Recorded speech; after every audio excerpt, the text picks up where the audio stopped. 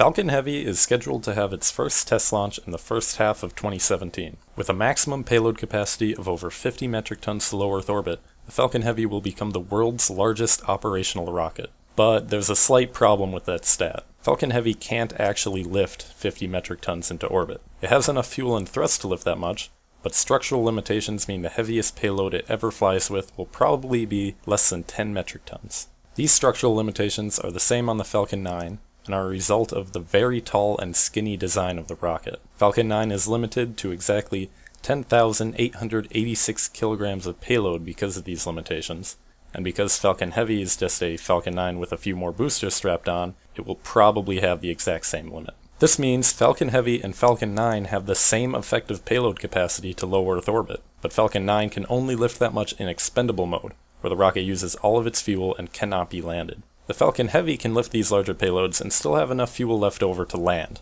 Falcon 9 can carry a little over 8 metric tons to a geostationary transfer orbit, but only in expendable mode, which means they have to throw away the booster.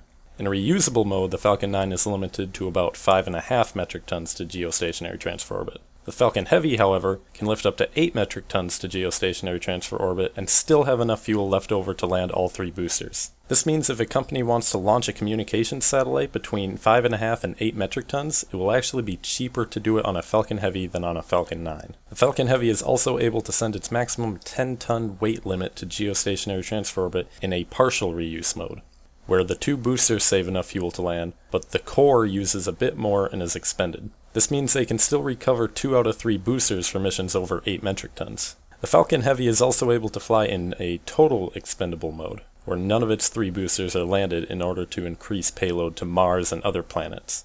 In this mode of flight, the Heavy can send the full 10 ton weight limit to Mars or even as much as 3 tons to Pluto without needing any gravity assist. This versatility and low cost will make the Falcon Heavy a very useful rocket for SpaceX.